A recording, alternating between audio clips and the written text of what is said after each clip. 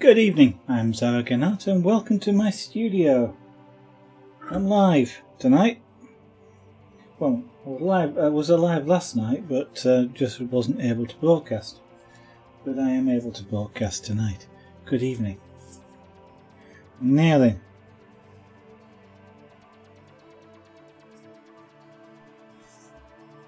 Okay, right, yes, and uh, uh, okay, right. So, let's do a little bit with this.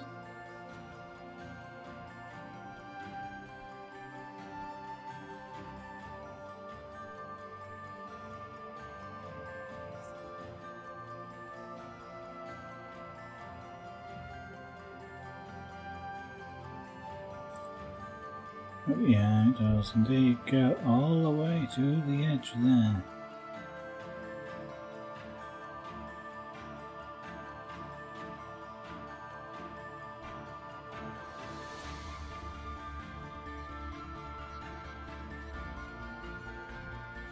So I'm going to do some shading, then we'll see if we can get some dots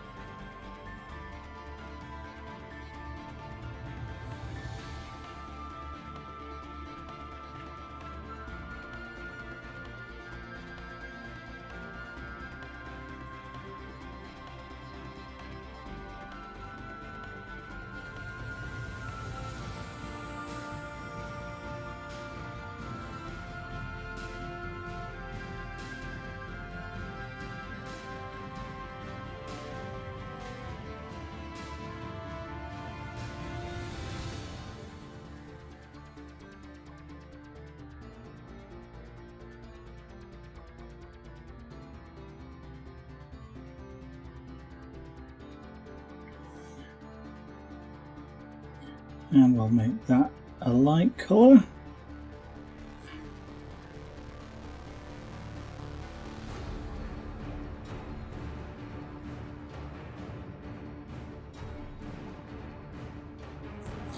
Uh, yeah, and we need to darken that a little bit around there.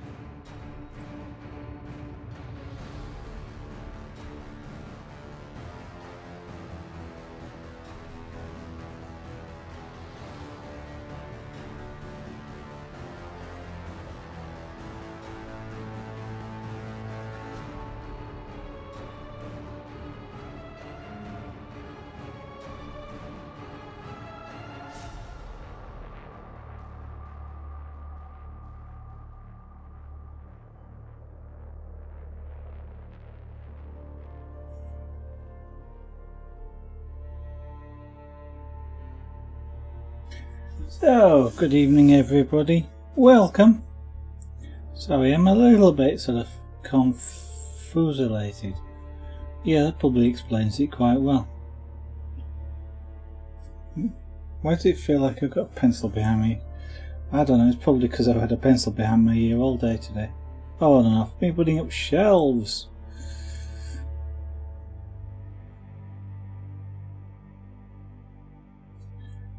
Working out the intricacies of how people apply plasterboard to walls.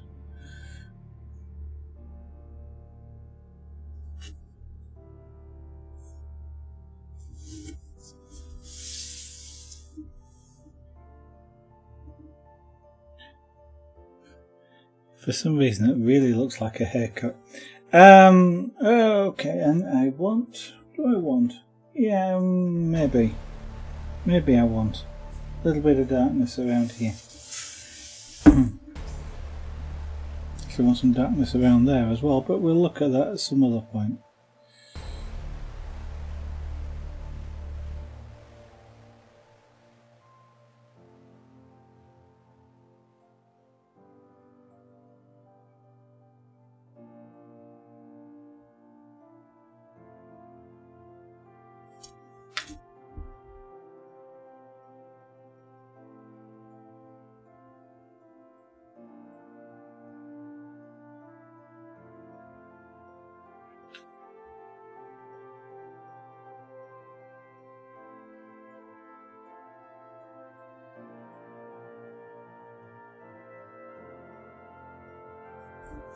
So I was still thinking about the. Uh, that wants to be even darker.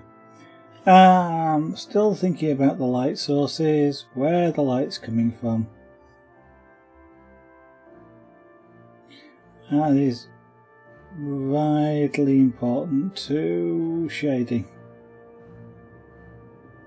I am trying to get a light source which is kind of your view, directly down from the camera. Ish.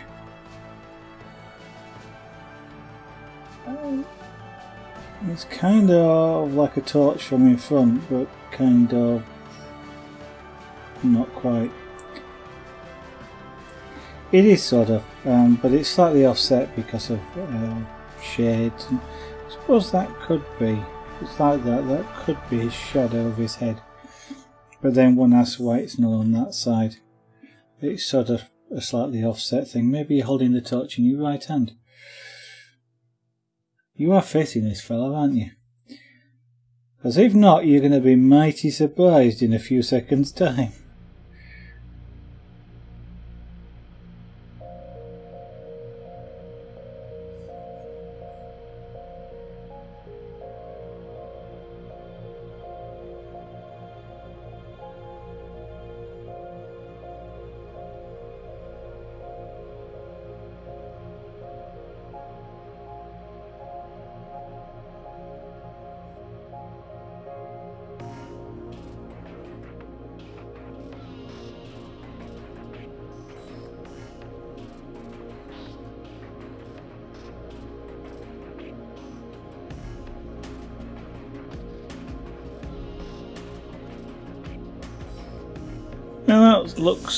Better.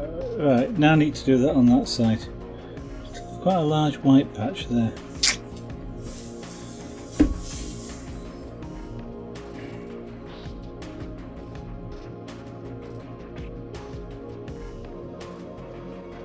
Hmm, thought occurs to me, if you have rim lighting, do you have rim darkness as well?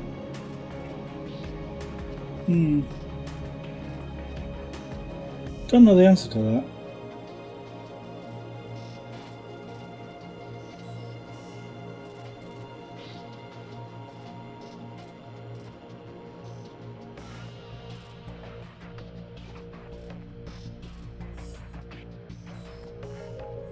I did say rim lighting, not ring lighting, which is a real company.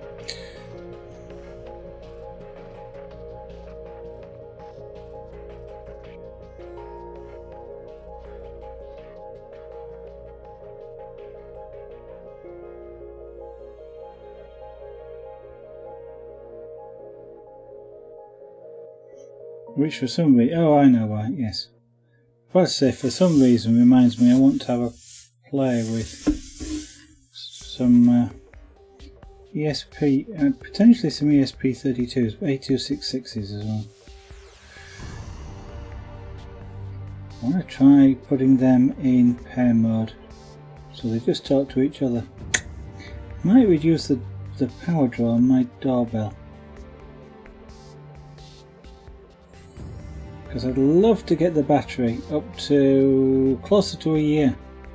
At the moment it runs for about four months on the lithium ion battery. Can't really say how long because I've only charged it once since I installed it.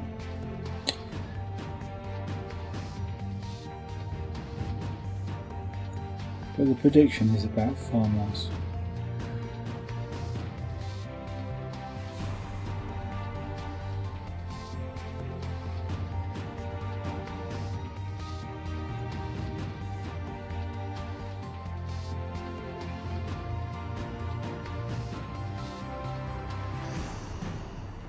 But that's running on Wi-Fi which is quite power hungry so if I could get one talking to another one of itself it's got roughly the same range so I can put I can put a receiver quite near to the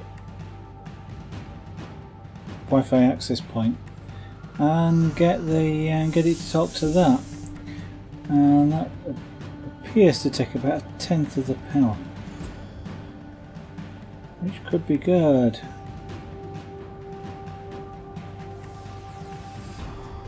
For battery. Right.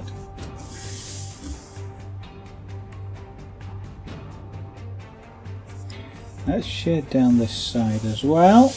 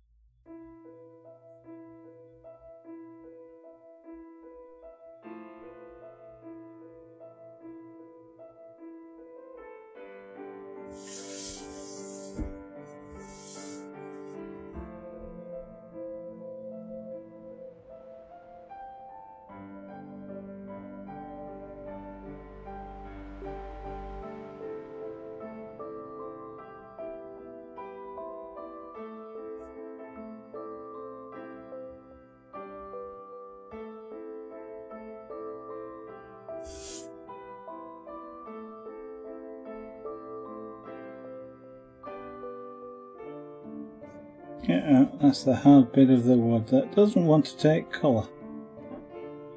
That's going to be fun in a minute. I'm going to try and darken this down.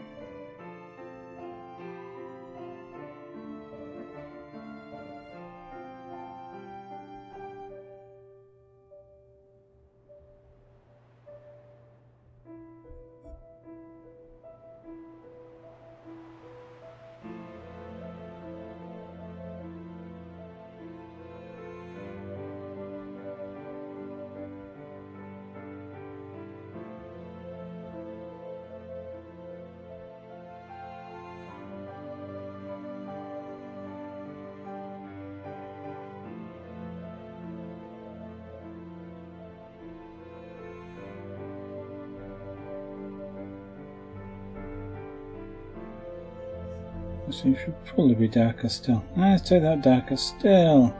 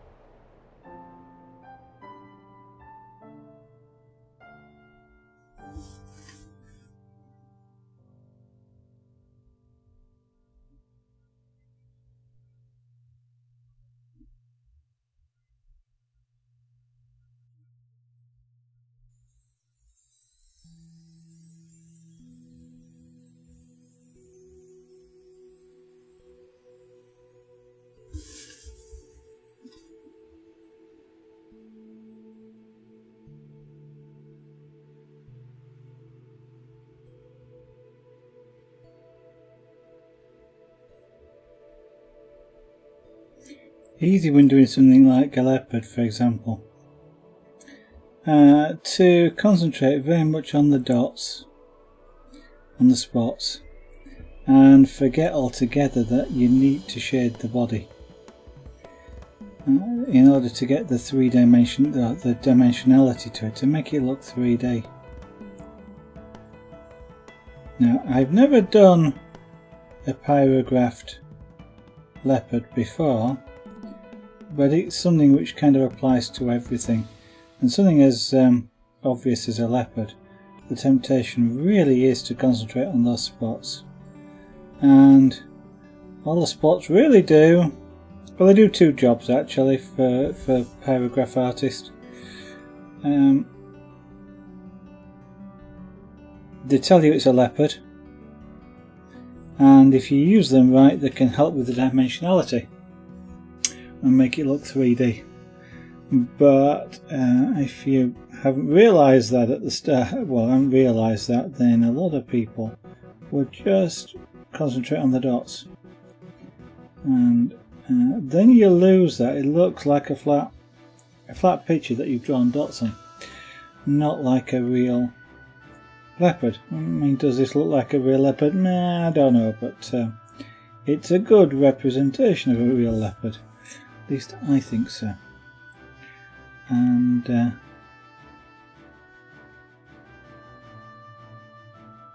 part of that is you've got to get the, sh get the shades shading first so that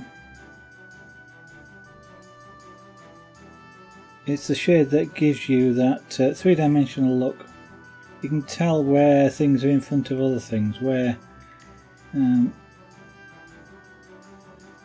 where the curves are you can then use the dots to enhance that by using uh, again the right shape of dots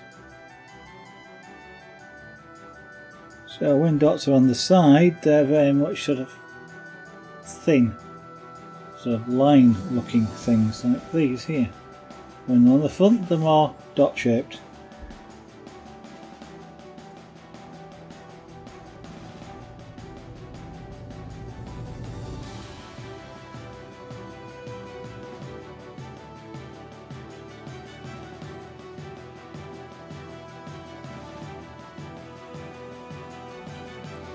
Now that's interesting because I just thought now, having seen it sort of a precursor to it, uh, it could actually sort of imply dots in, in the dark shadows here by using this tool.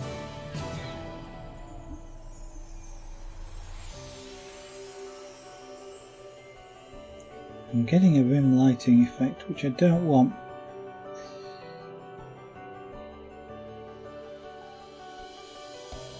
don't know what it is, but right here against the edge, it's coming out slightly lighter.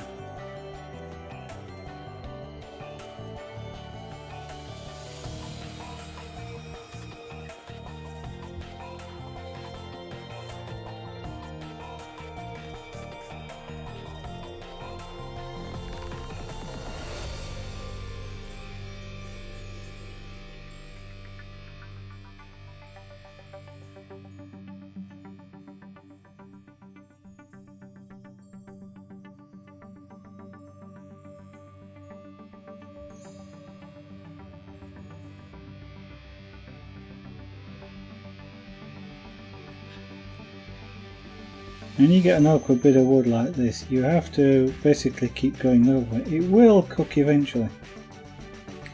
But you have to sort of finagle it and uh,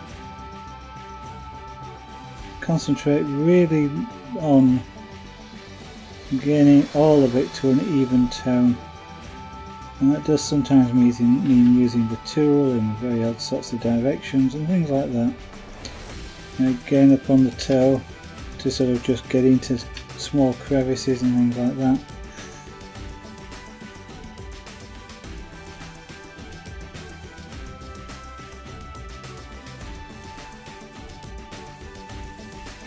That still wants to be wider still.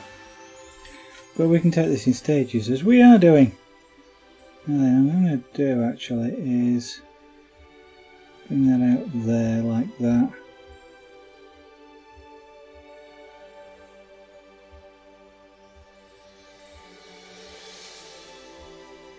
There.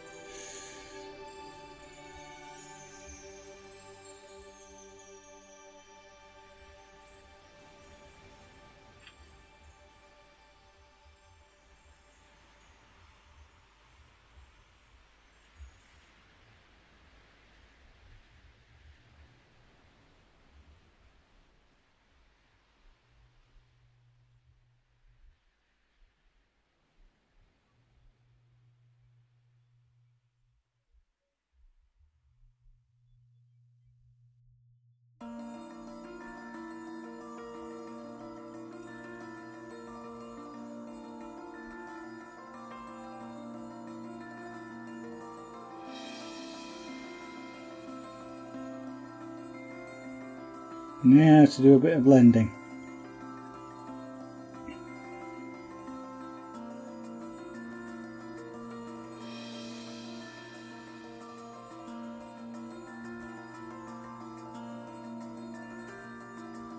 There is kind of a style of art that would be blocky-ish, where you, you keep these transitions that are visible here.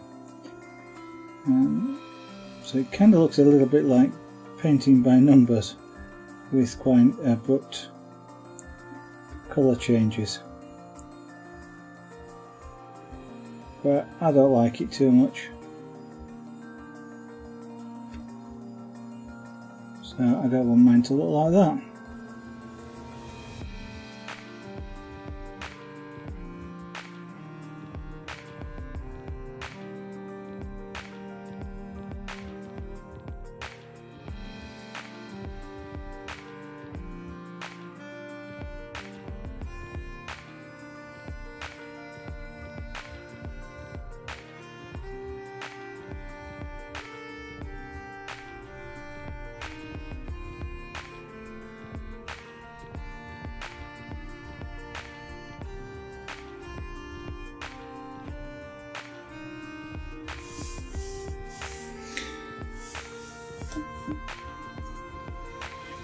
So needs to come out probably to about there, I think, probably all the way down. Might have to do the same on the other side as well.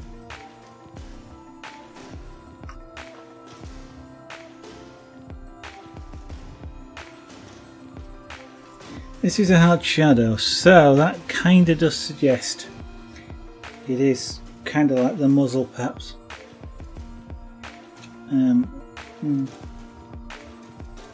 I think I'm playing about a little bit with the light sources, a bit too much here, or rather I'm sort of cheating. Um, playing fast and loose with the light sources. But whilst it looks right, I'm not going to bother about it.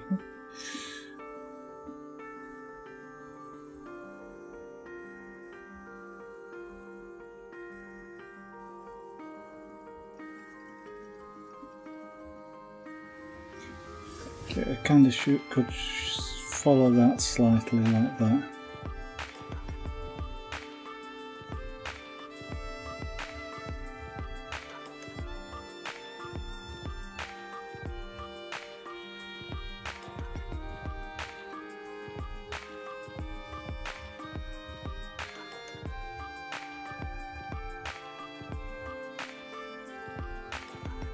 Now, the more this is producing like a yellow tone to me.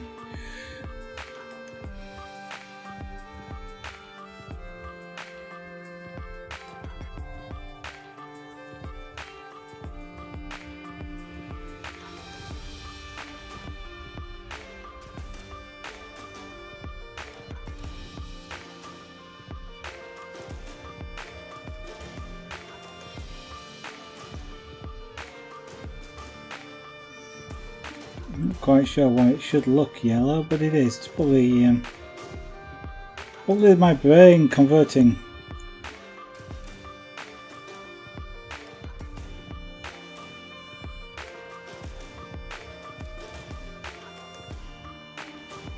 Wonderful thing, brains, but you can sometimes trick them and confuse them, especially with colours.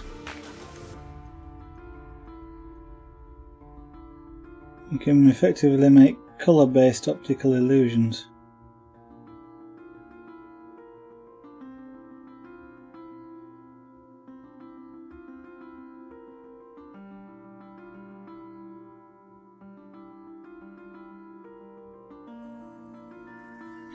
Now that's going to be the lightest of that that could go, so I'm going to have to make this darker in order for it to be a contrast.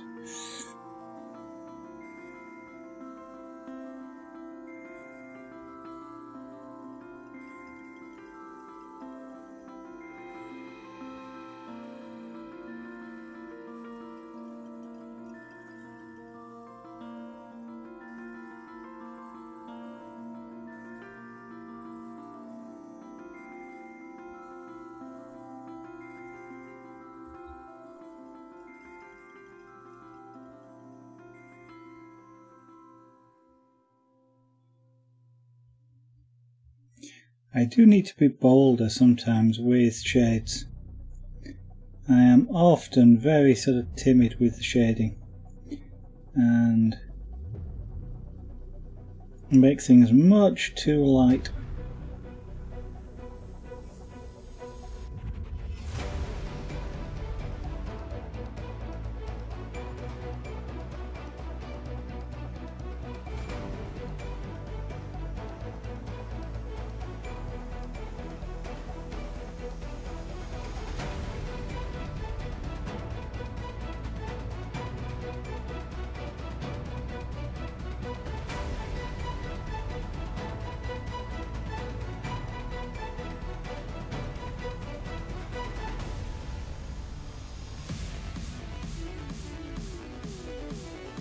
Put something in there, I've gone a bit too dark. Really hard actually, so maybe I haven't gone a bit too dark, but it's kind of, it is quite difficult sometimes to hit intermediate colours.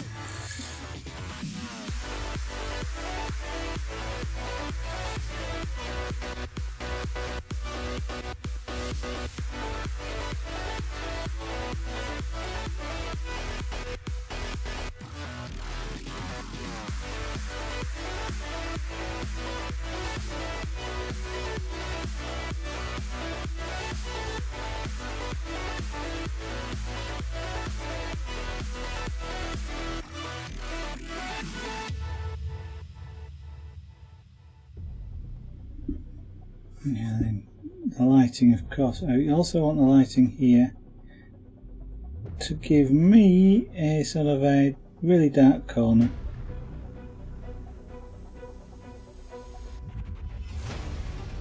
But one that I'll fade out across the leg.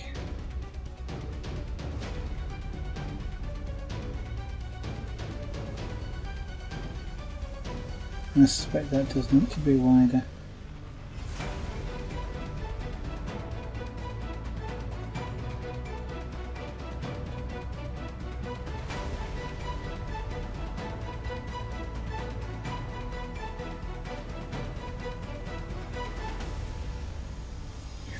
We often draw shadows as black, but a lot of the time they're not.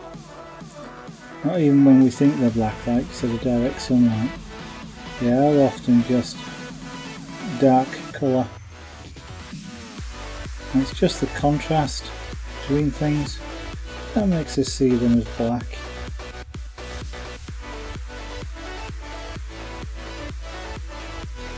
But it does mean that if you um, are doing an image and you make your shadows black. Don't always work.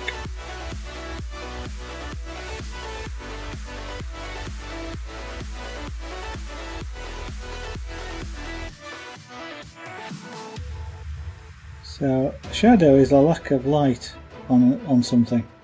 And that something doesn't change colour just because there's a lack of light on it, it's still the same colour. And the back just means it's not illuminated enough. So your shadows are the same colour as the object that they're on. Just a darker version of it.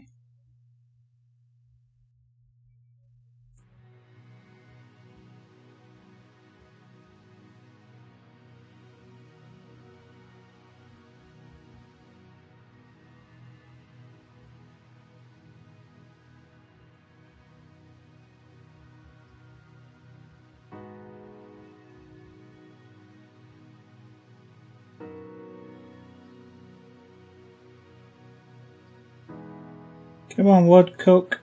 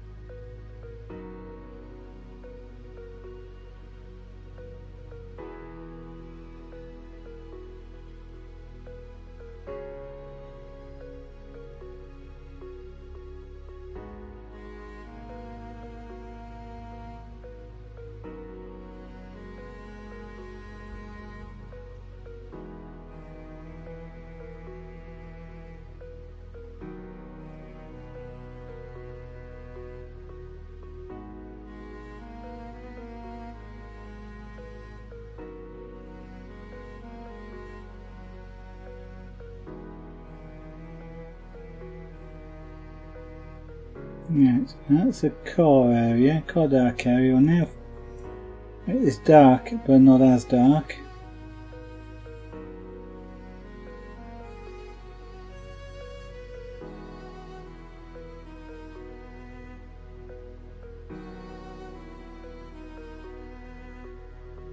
and then come further out again making that dark but not as dark until we've gradually got it all applied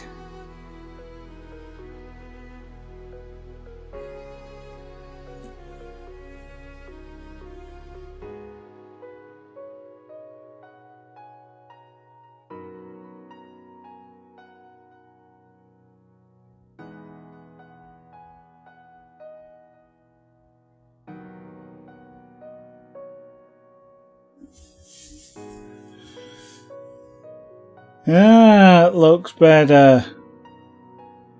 This is still much too white, but it looks better.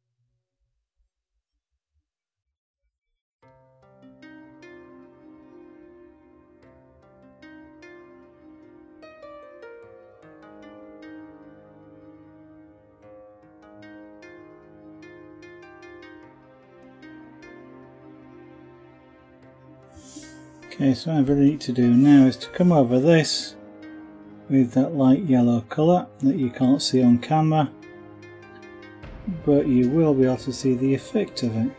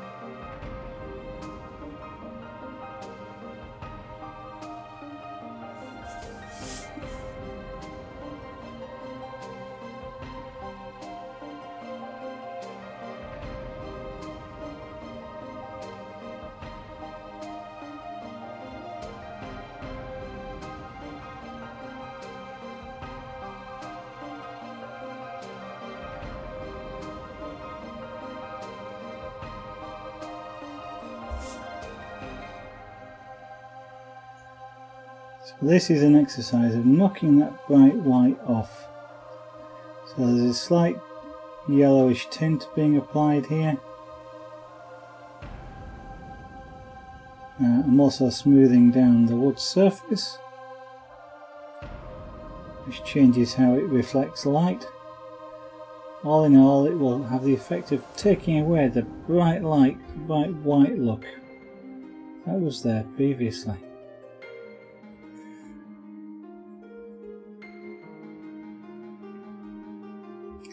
Now I'm going in big ovals here.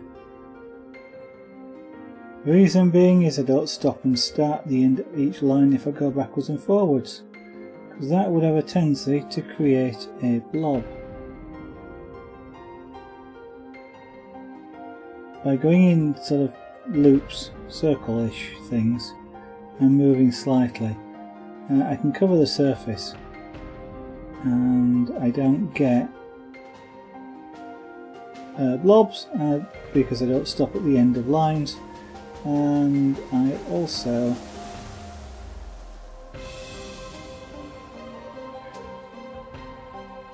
I should in theory get a more smoother overall colour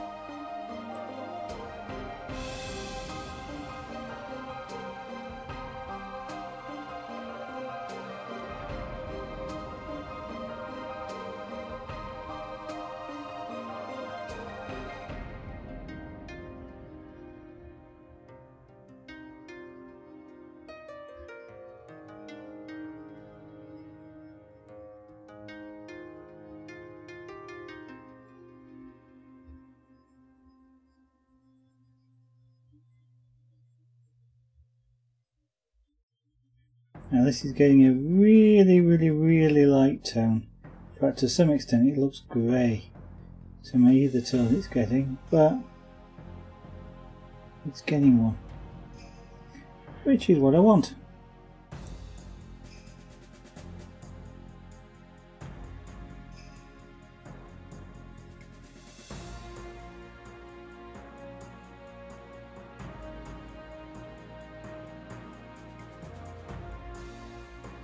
Problem with doing really light turns like this is you can't always see where you've been. Or indeed if you've got complete coverage.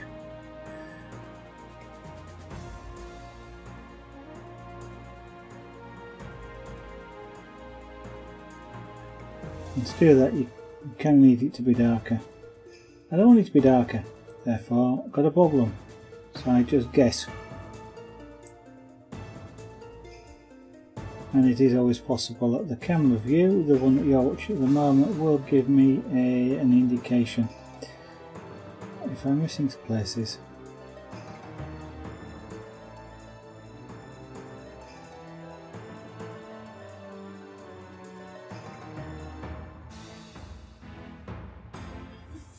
that's been, that one's been coloured in, so now that and that look different to me. And it possibly looks slightly different to you as well cup of tea. I only have one tea bag left after this, so I'm making sure I drink it.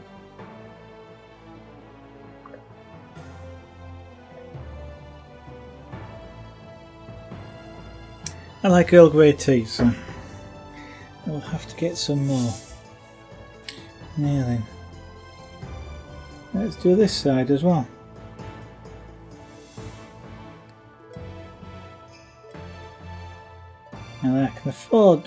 For this edge to be slightly darker. Not quite a perfect shadow.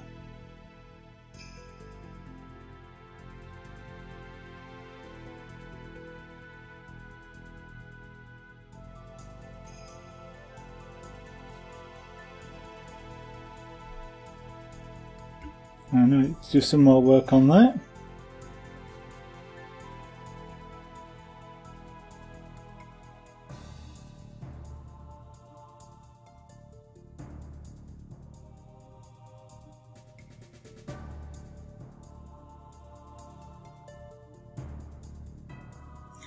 Effectively at some point was a knot in the wood before it was cut into a veneer uh, and glued together here and uh, those sorts of areas do change the uh, pyrographic properties.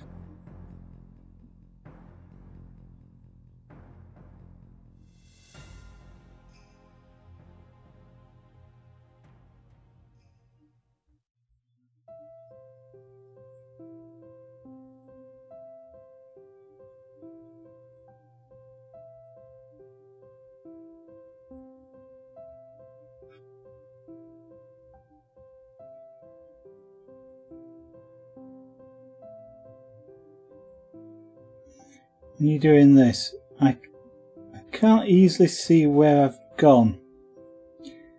Um, I can see an effect. Uh, so I'm being really subtle with a colour change like this, but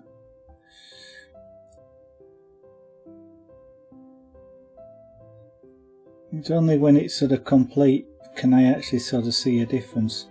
At this level here, as I'm working on this, not really seeing a difference by what I'm doing. It's sort of my eyes are not quite sure they're seeing it.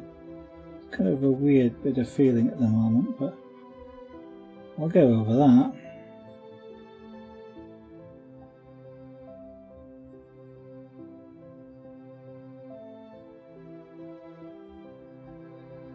Trying to find the perfect angle. Keep trying to find because as, as you move, of course, the uh, the pen angle changes. I'm trying to find the perfect angle where this pen glides smoothly.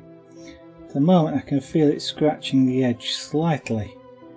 Um, I'm not sure where which edge it's scratching but it's catching and scratching at the wood slightly. I'm not sure where and what I'm trying to do is find the ideal position where this is dead smooth when it goes down it's not catching, it just sort of glides on over the work. Sort of almost there, but I can't quite locate it. And of course, as I move up and down, the pen angle changes slightly, so it does tend to wander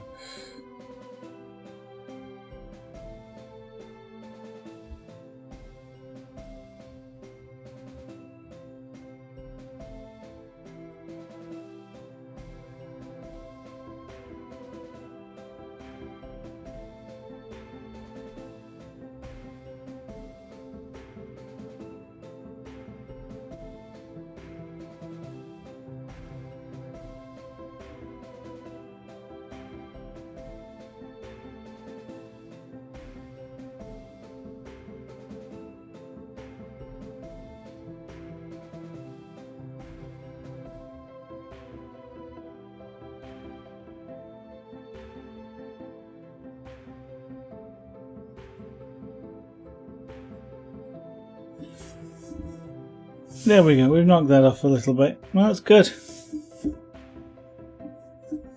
Batten 109, welcome to the stream and thank you very much for that. That's very kind of you. Just doing some shading to the basic body at the moment before I put some more uh, some more of the dots on, which I might get round to this evening. Um, Well, I, yeah, got a bit more on this leg to do, and then I'll put some uh, some some of the dots on. Then I've got more shading to go over the top of that. But the shading helps me see where the dots are supposed to go as well, because uh, the ones on the side of the face have to be angled slightly different.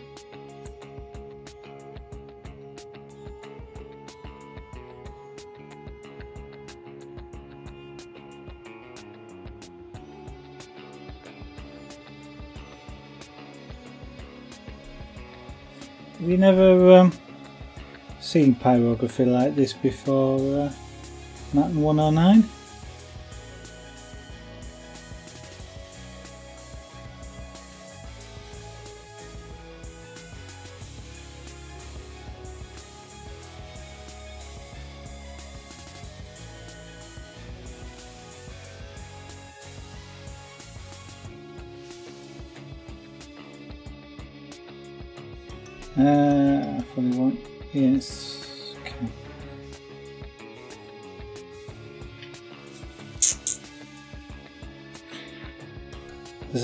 Bunch of muscles around here on the cat.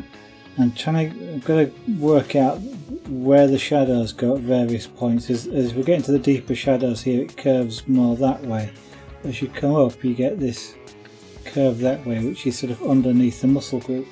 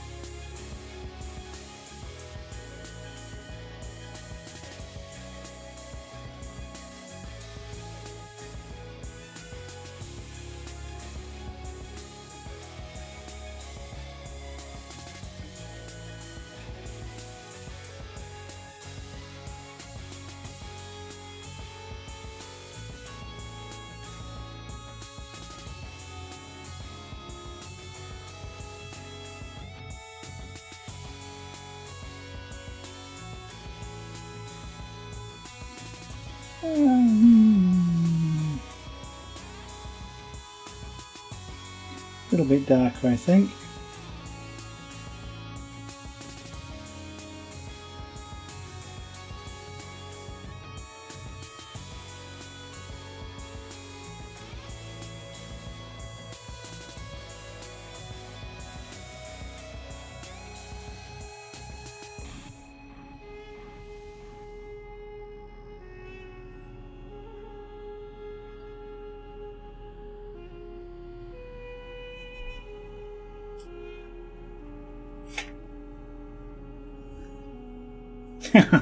Junior. Junior is asleep. We've been working cats.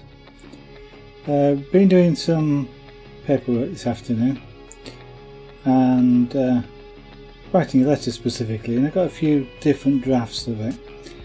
Uh, and which are on the floor over there. And of course, the cat has to go and lay on the paper. Don't know what it is about cats.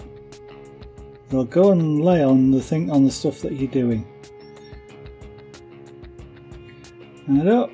At one time, I thought it was just because you were there and they said I wanted your attention, so they were laying on the stuff where you were working to get your attention. But um, I haven't been working on those papers for a couple of hours or more now. Yet Junior is laid on them.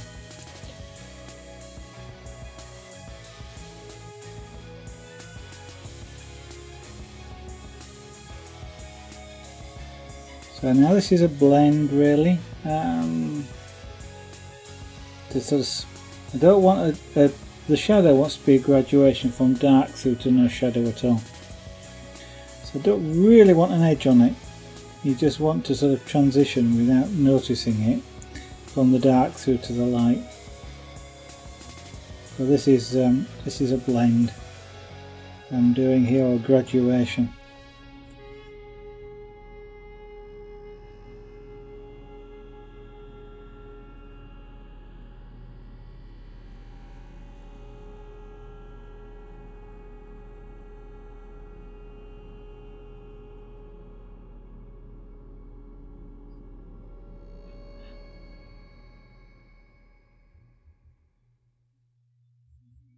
So dealing with the different different parts of the wood, like there's a knot hole there, or a, what would have been a branch perhaps, you know, which is what a knot is. Um, and it, because the wood direction is different to elsewhere, it um, changes colour differently.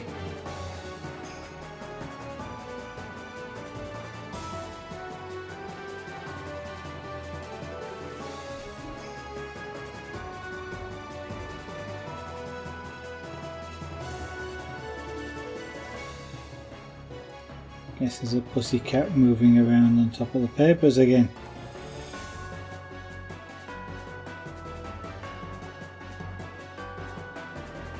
Bit of a big pussycat I think, but...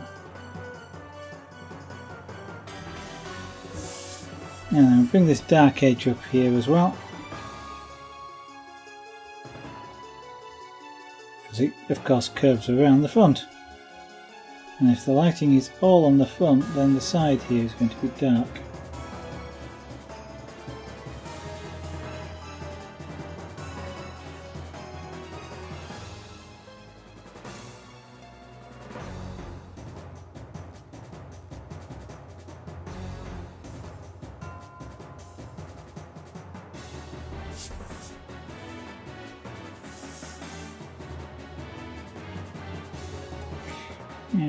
Rather white around here.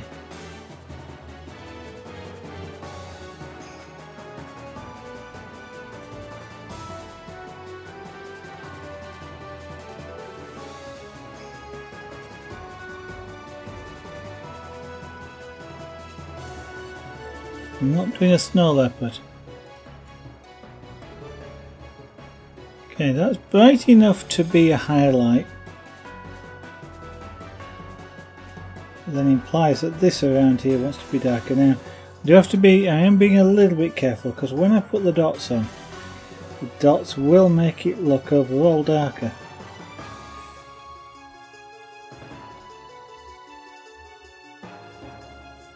So it's probably time to put some dots on. Switch the pen, turn the heat down.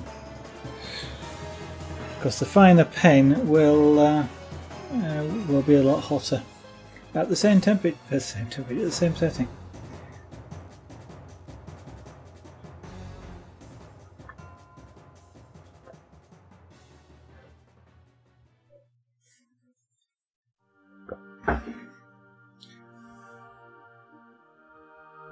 Right.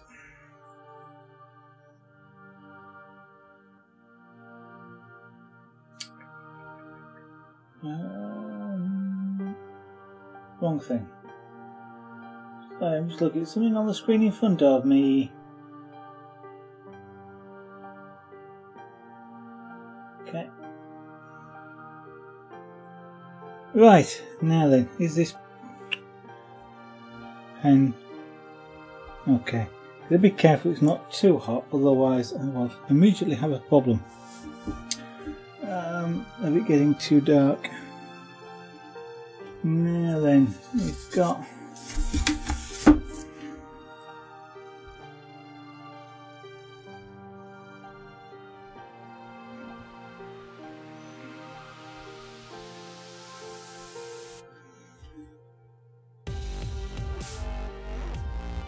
got fur. He's got fur. So the edges aren't perfect. But, right. Um, I've got to try and do all the time when I'm painting these dots is get, try and make sure that I'm doing them in the right direction. Um, so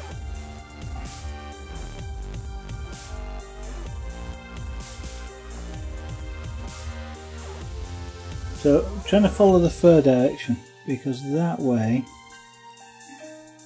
it looks more natural.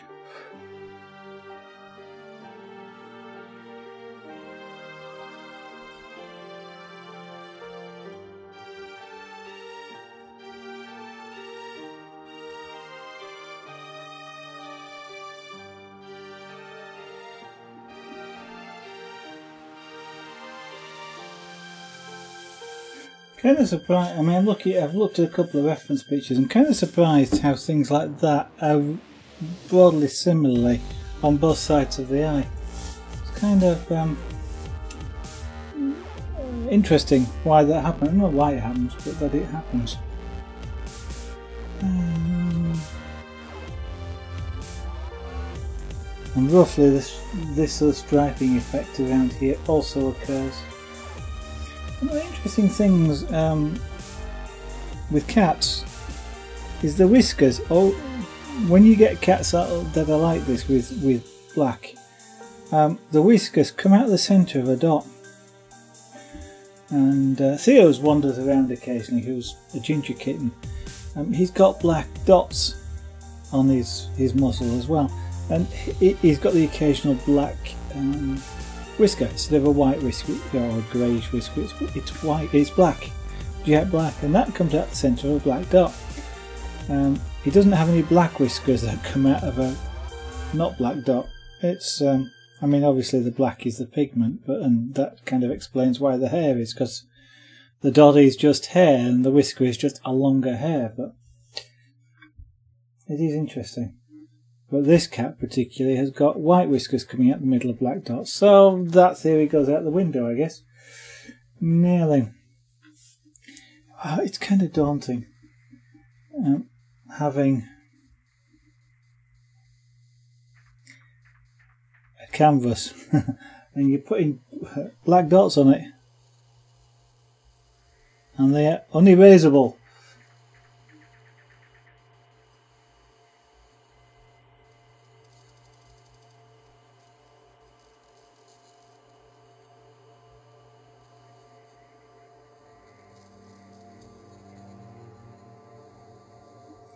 Now I'm not I'm not trying to make them circles. I am specifically trying uh, to do the opposite of that I guess. So they're like little tiny lines. Um, and they are sort of being done irregularly.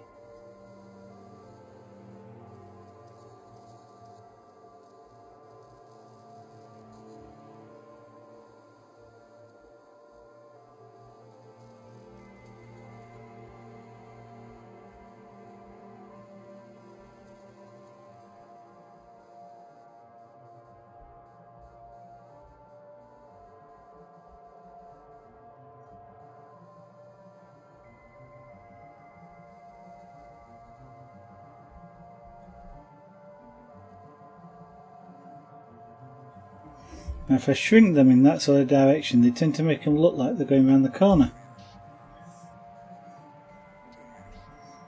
Which on the real cap they are, but on two-dimensional object they can't go around corners, but you know what I mean. Hopefully anyway.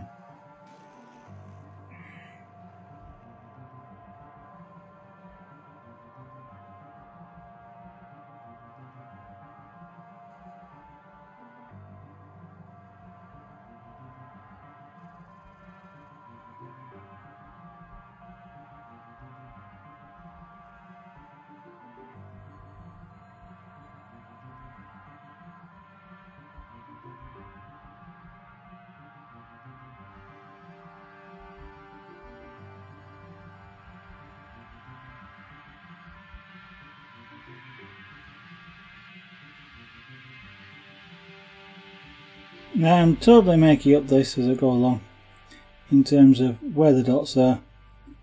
Whilst I have reference pictures, there is absolutely no way I am copying the real dots. They're all the real spots, I suppose they're not dots, but um, it would just, well, I suppose it could be done. Um, but there is no real point in doing it almost every cat will have different markings. So you know to say which particular cat it is that you're, uh, you're doing. Um,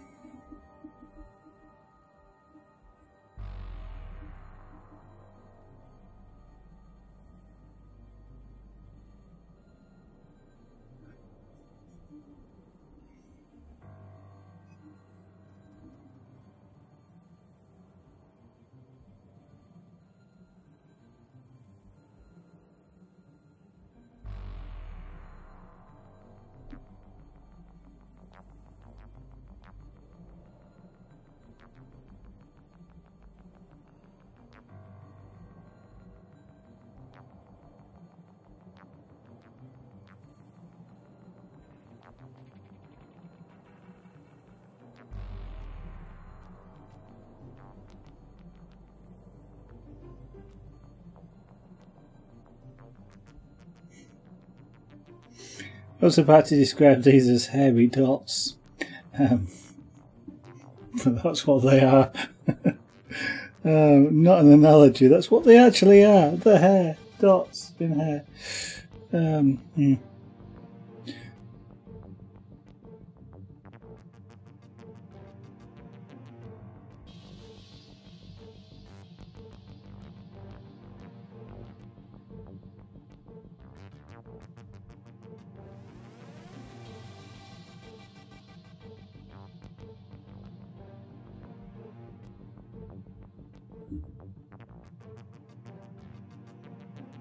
Now one thing about using a tool like this as opposed to the shader which I was using not so long ago and that is this tends to sort of melt its way into the wood so you get more of a texture when you're using these sorts of pens than when you're using the shaders. The shaders tend to be flat and the texturing that you seem to get from it, like here for example, which you, you there is a sort of a texture there, um, is because of the way in which you know the the lines have been heated um, or the pen has been moved.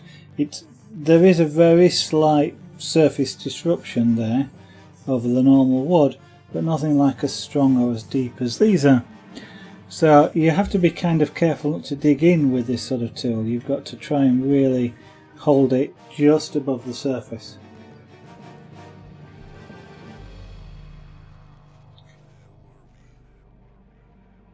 Unless of course what you're after is that precise sort of indented look.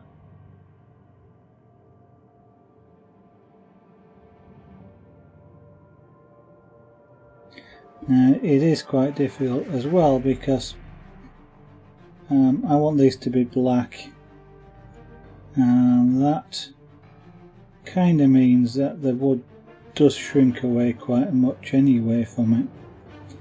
So uh, whilst I'm not digging in, it, it is still creating that, uh, that sort of deep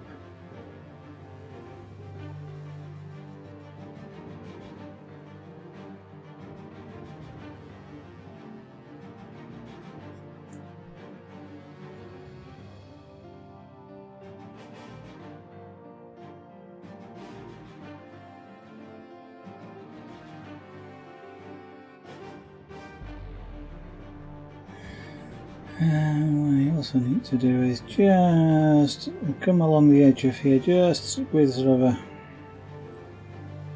shaky edge a little bit.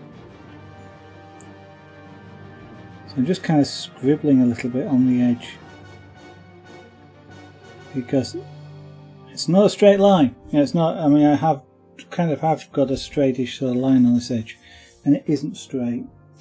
Um, it's um, because again it's fur.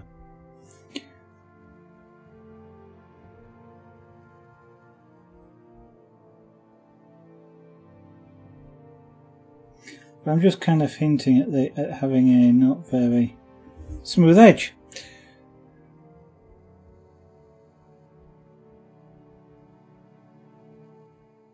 That needs a little, uh, needs a little bit of shading on that, but we'll come back to it.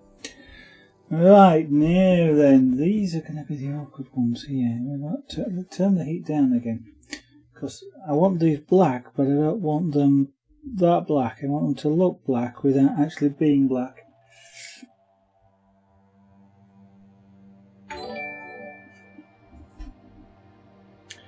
Wolfie, thank you very much for the host. That's very kind of you.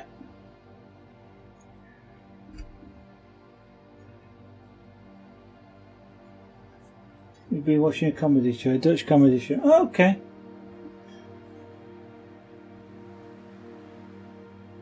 Well, welcome to the stream.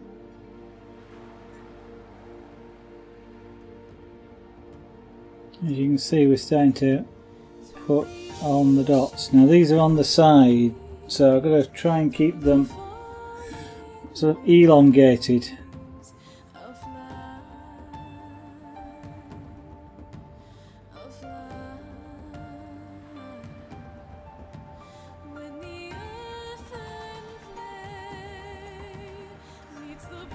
Just do some of that with the, with the shader. Um,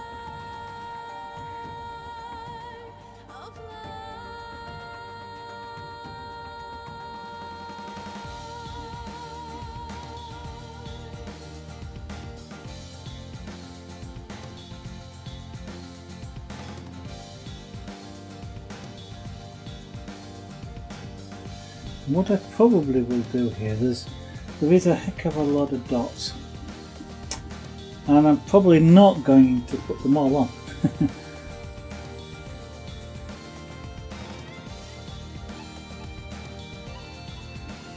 Just because there is so many. Um, but from the perspective of an image like this I don't really need to. It doesn't add anything to put you know thousands of dots on. Uh, because you almost immediately recognise it as the leopard and then the dots have done the job. And they're coming out a bit brown, and darker, so I'm just turning the heat up a bit.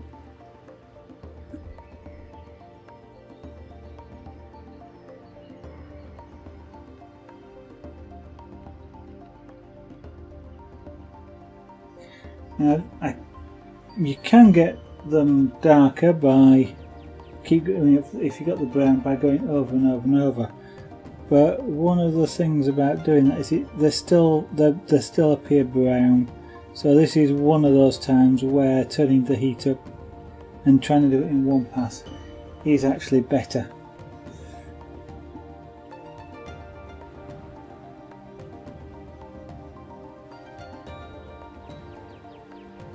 If you then get quite a solid black and you don't get a brown edge.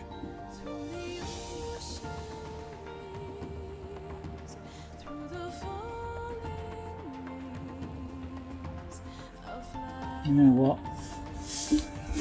That way.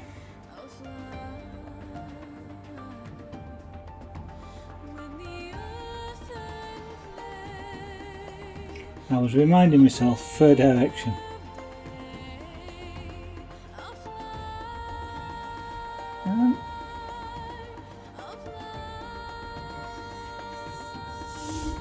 So the fur radiates kind of from here.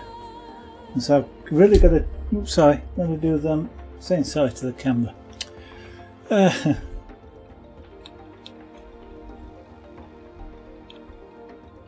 really got to do the dots in the um, in the fur direction and do my best not to be as regular as that looks which was totally unintended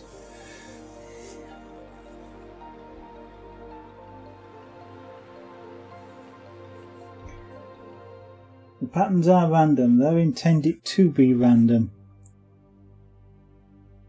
That's what gives the camouflage.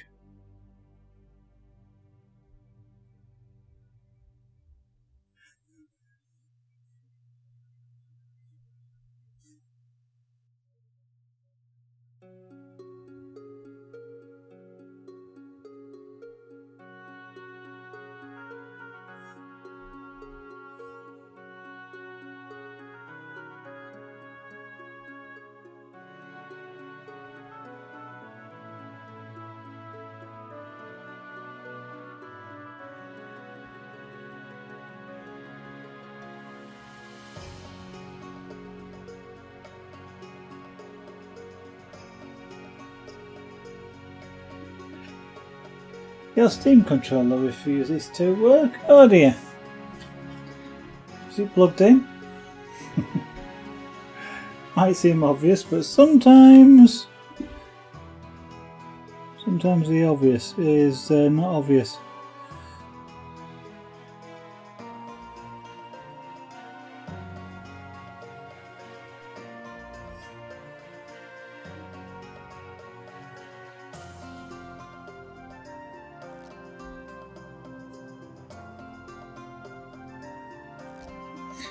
Plugged into the right thing?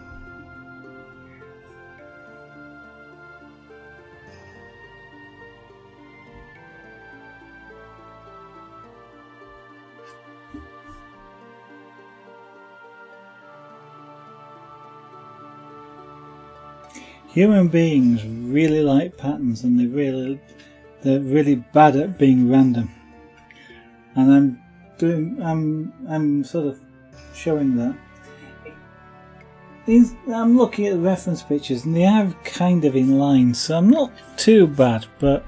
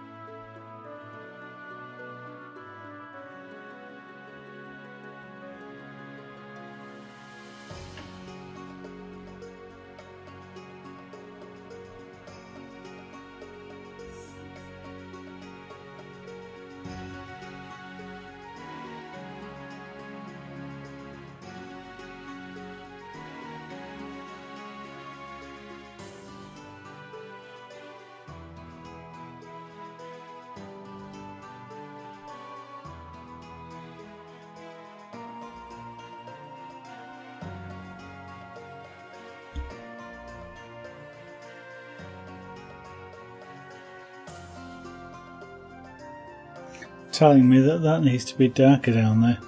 It's too light an area for that particular shading.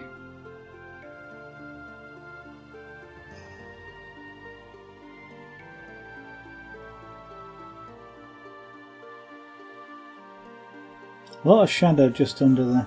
And getting, getting the colour right can be a challenge.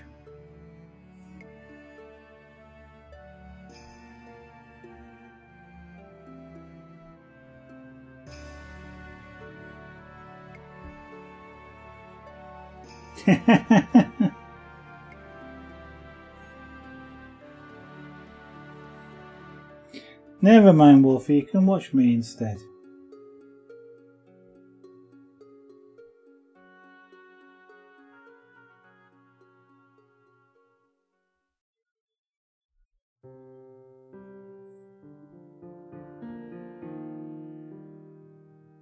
Or for a while at least you can watch me instead.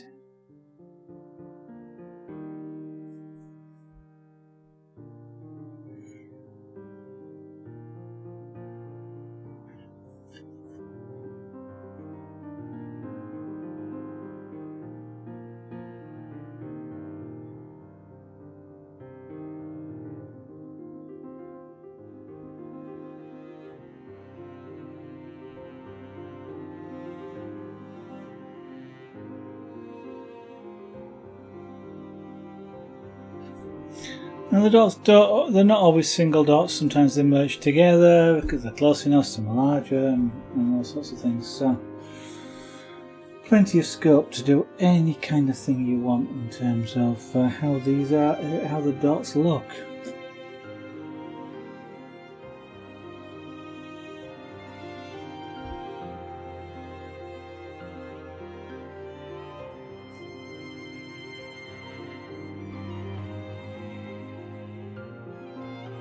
May need to go back and rework some of them just to make them look like where they are on the face of the uh, of the cat.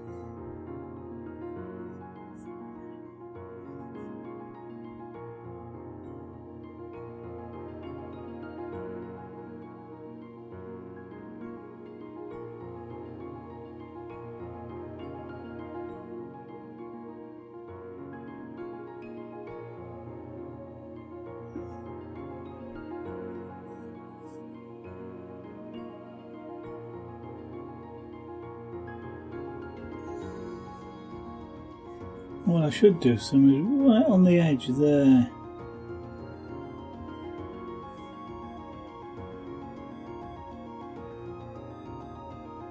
As they go right around the edge of the fur.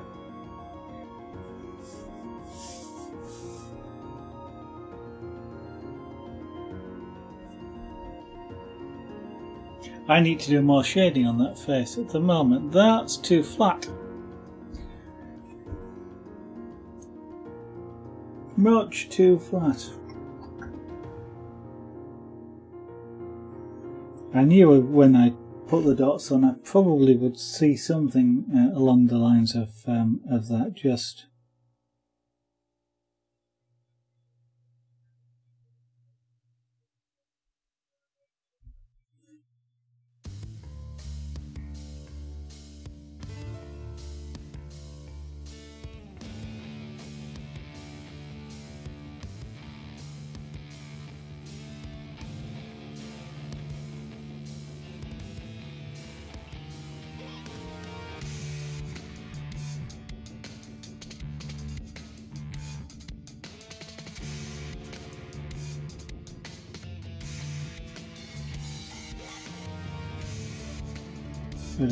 that way.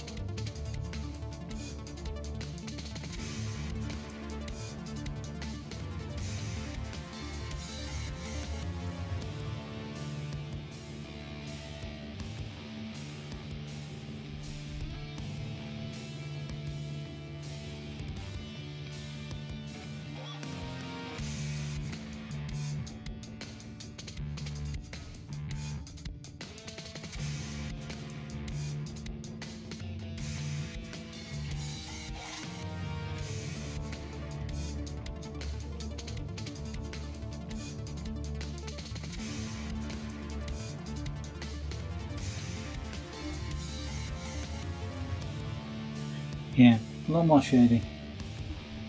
But that's something not for now.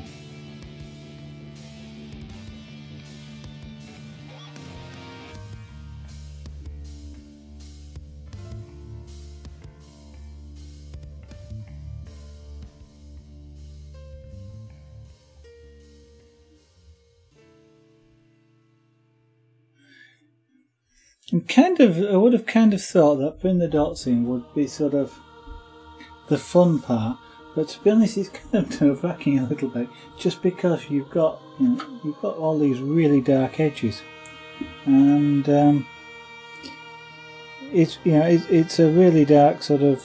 You, you've got no choice. Once you put the pen down, you've got the, you've got the dot, and um, there's no going back.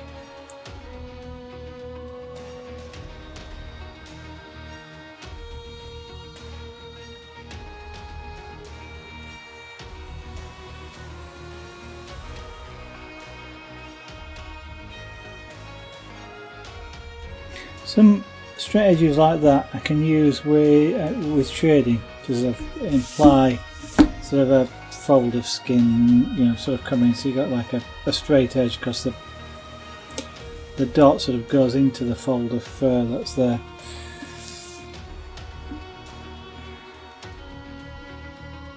And then little legs come.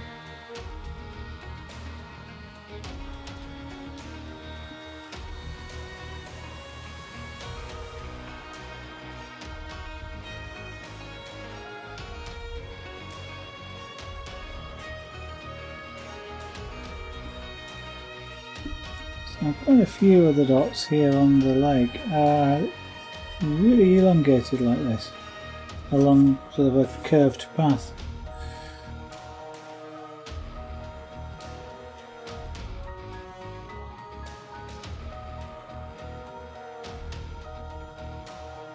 I mean all the dots are is camouflage of course so that they can sneak up amongst grasses and things like that on their prey.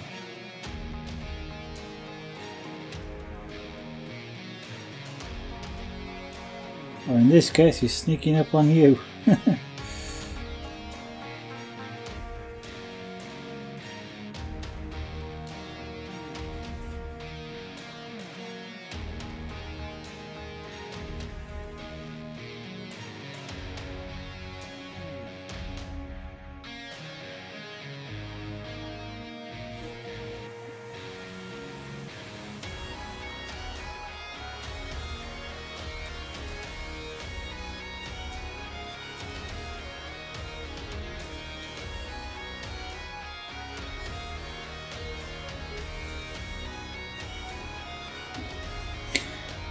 Now they look too dark for the area that's around them, so I need to darken that edge. Um, there needs to be a lot less contrast between these and the, and the background fur, but we're getting there.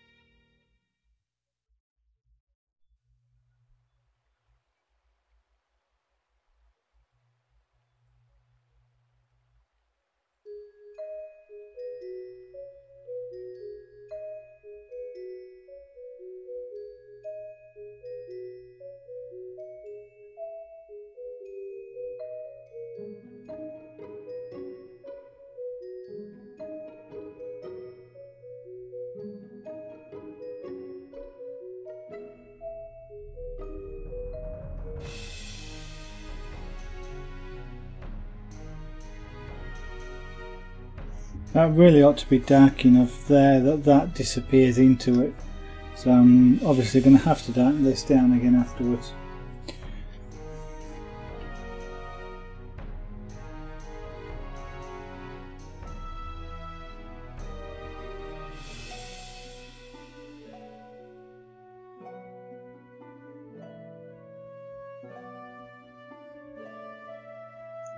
I'm going to actually have to put dots in there and they'd, they'd be seen because obviously these are, these are darker than that is.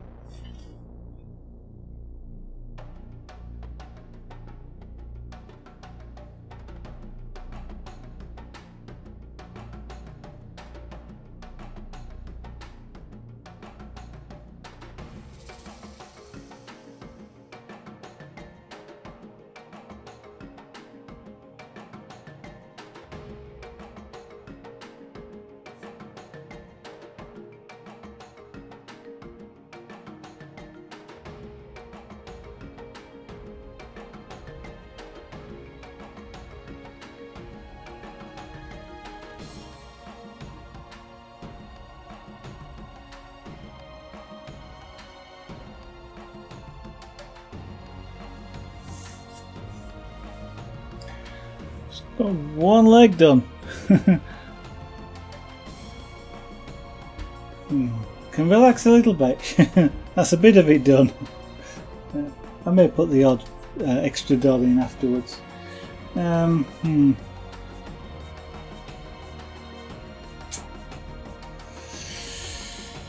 right, next one.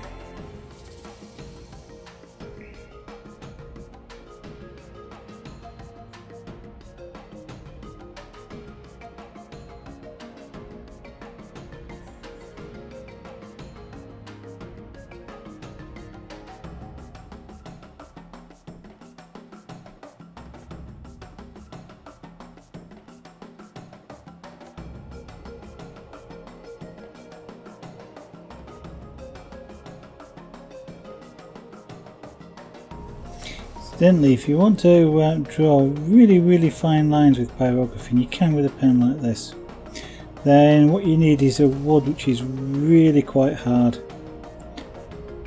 Um, most of the white woods aren't, so the pen digs in, but if you, uh, certain cases like here, which is part of a tree branch, uh, it is. Uh, but uh, if you um, you get, I suppose, something like mahogany, which is a quite a hardwood, although it's quite dark. But that would be, um, you get extremely sort of fine lines.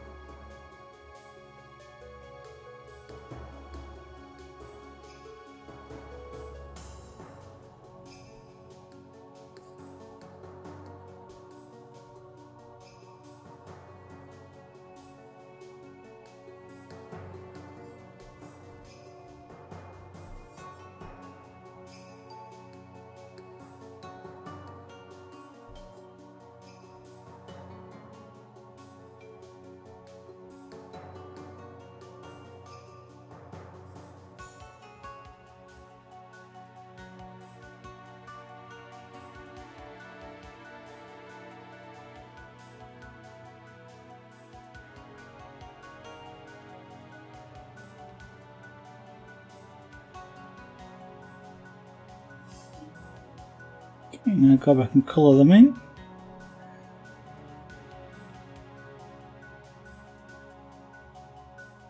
So sometimes I outline stuff.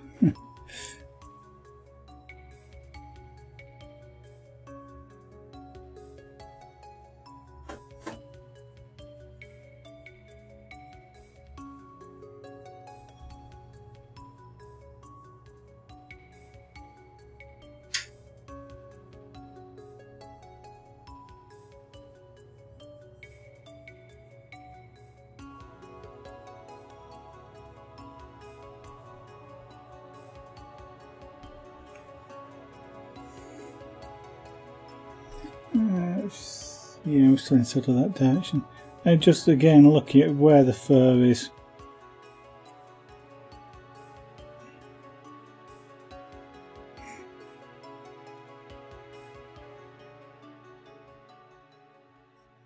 You always keep going in the fur direction. Because um, there will be sort of texture marks with this. Always will be, even on uh, even really hard areas. And if they're in the direction of the fur, then it looks okay. If they're in the wrong direction, your brain goes, hang on a minute, something's wrong.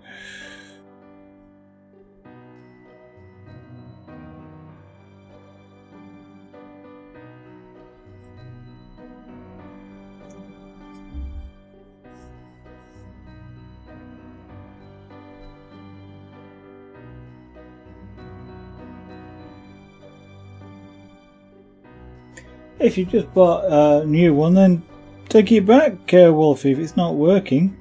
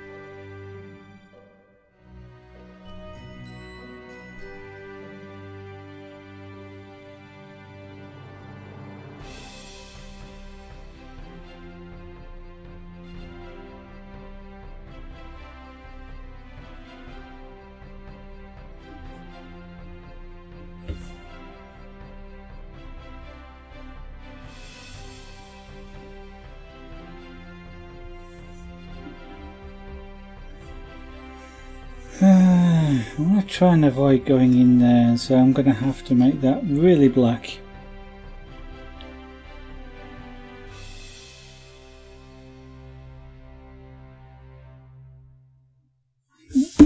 Wrong direction. That direction.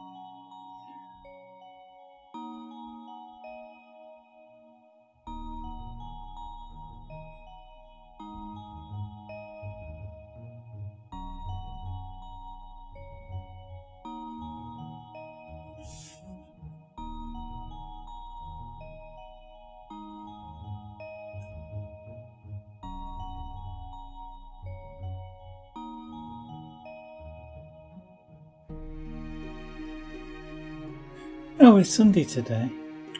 I've just realised I've got to go back to work tomorrow. Oh well.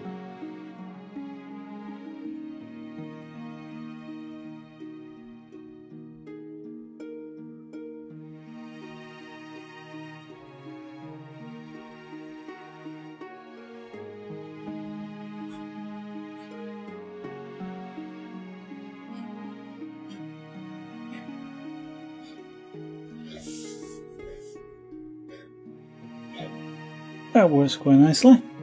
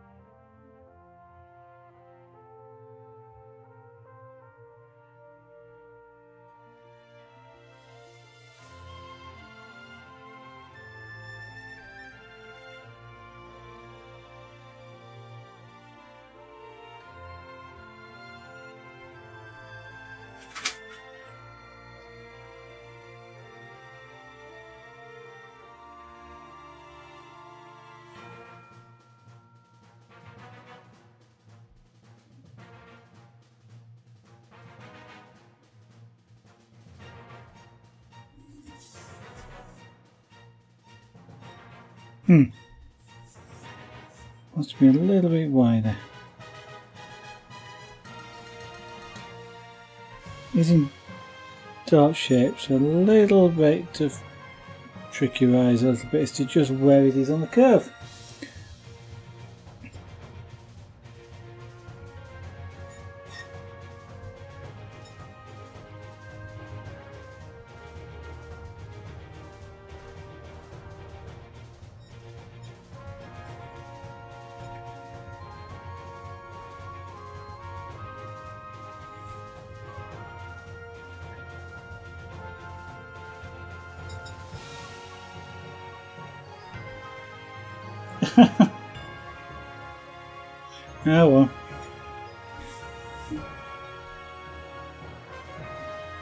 Just move something for the pussycat. Just bear with me a second, I'll be back in a moment. I guess since you've already been licking it, eh, we'd better put it on the floor, pussycat. There you go. You're licking at the butter. There was a plate just over there on, on top of something which had cheese biscuits with butter and cheese on them. And Junior was busy licking the butter off the cheese biscuits. So I figured I'd better put it on the floor before he drops them on the floor and coating the floor in butter. And now he's eating the cheese. Cats like cheese. In case you didn't know that.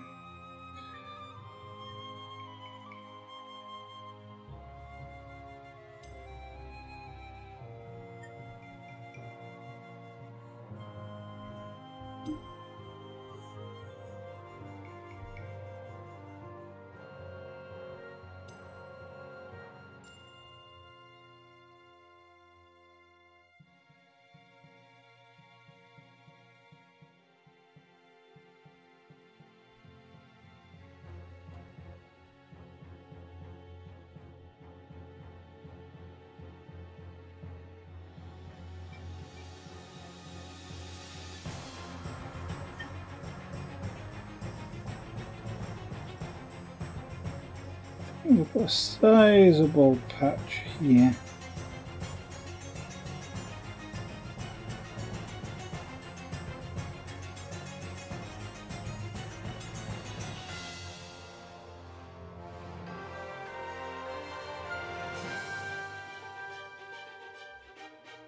Really, for another reason, I just felt like it.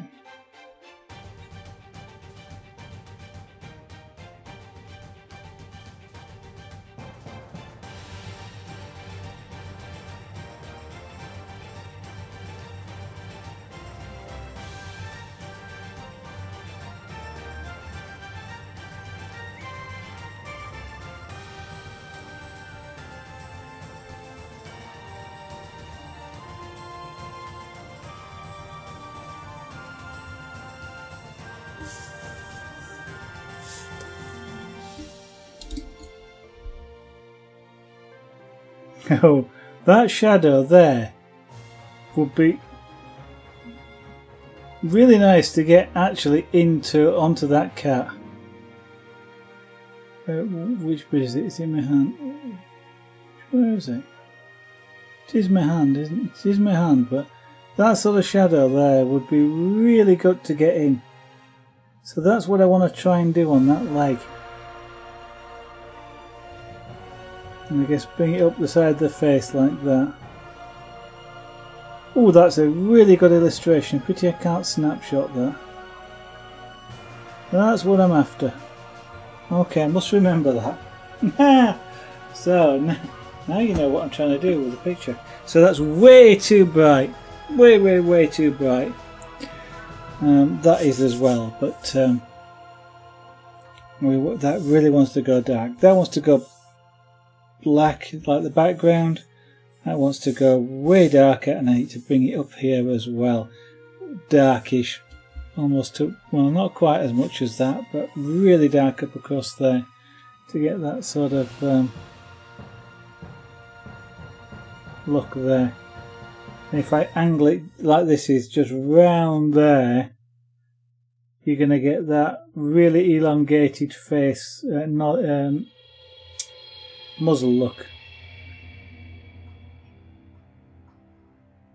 It's a real good illustration. Right, okay, so now I know what I'm doing. And if I can't remember, maybe somebody will mention, put your hand up to the camera and, shade Uh, that's going to be it for this evening. Um, we're coming up to 9 o'clock. I've done as much on the leg as I want to put dots on. I don't think there's any need to put lots and lots and lots on. I could do, and I may put an odd one in at some point but I think that looks okay. So I might work on that leg get that to what I was uh, trying to uh, trying to achieve. Sorry I'm looking at the picture over there. I should be looking at you guys. Um, but yeah I'm trying to get that I want to get that down to what you've just seen. Bring it up there and then maybe put some more dots on the face. Gotta get the shading in because otherwise that face looks too flat with all those dots it's really hard to get the perfect dot shape. For me. Might be for somebody else, might not be for somebody else. But especially as I go over the top, that's going to become um, quite difficult as well. Uh, and then we've got the ears to fill in. Um, so, well, just said, order of the day is that, that leg next, really darken it down. Down, down, down. Quite a lot. And uh, we'll see what it looks like. That will probably take quite a bit of the stream next time, so we'll have a look at doing that tomorrow. Tomorrow stream. Hopefully goes okay, can be on. Won't be anything happening to stop it. I intend to start as soon as I can after 7pm UK time, that's on GMT at the moment, but it is a variable time. Uh, I have a busy time at work. This is when we do month-end processing because I work in the finance area, and that means that sometimes I have to work late. And if I have to work late and then I have to get some meals, it sometimes delays the start a little bit. But I'm going to try and keep it as close to seven as I can. So thank you for watching. If you consider pushing at least the follow button up there, um, that would then let you get Twitch notifications when I'm live. You'll be able to see me in your nice following screen, and you come back and see some more Out of the Dark. With that, thank you for watching. See you on the next stream. Bye for now.